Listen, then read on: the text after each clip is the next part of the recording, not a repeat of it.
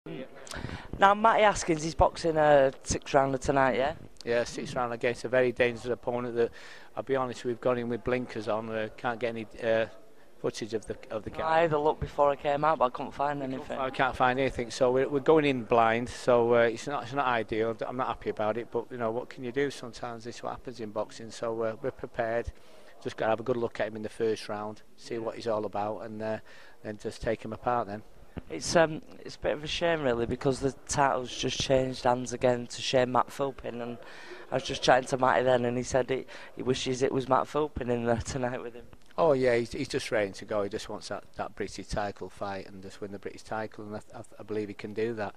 But like I say, at the moment we've just got one opponent in front of us, and we just got to get get rid of this guy and. Uh, move on to the eliminator then. And uh, but he's, he's still a young, ambitious fighter. Very young. All young fighters want to do it straight away, but I think experience is a, is a great asset to anyone. And I think you know getting a couple of more fights, giving more more experience. I think we've got I've got a future champion again, and yeah. I think it'd be uh, it'd be great for boxing. Because he'll stand him in good stead getting a bit of experience before he boxes at British title level anyway, won't it? But the cruiserweight division is not great at the moment, so it's really his time to come through and get the title, isn't it? Well, I, I want him to, to develop this, like I said, the cruiserweight title is quite dull at the moment, and I want him to be the next star yeah. and bring it back up where it belongs, because there were some great fighters in the cruiserweight yeah, division. You know, Carl Thompson mm. and some great fighters, and uh, David Hay was a great fighter at cruiserweight. So I want him to get back up there, bring the uh, bring uh, the uh, get the weight group right back up uh, where it belongs.